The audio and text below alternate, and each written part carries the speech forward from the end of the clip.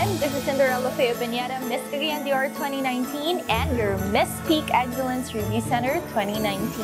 To all peakers, my warmest and sincerest wishes for you all this Christmas. May you have a great 2020 up ahead of you. And of course, to those who are looking for the leading institution, you may be part of our family. You may enroll at Peak Review Center. Be part of our growing family.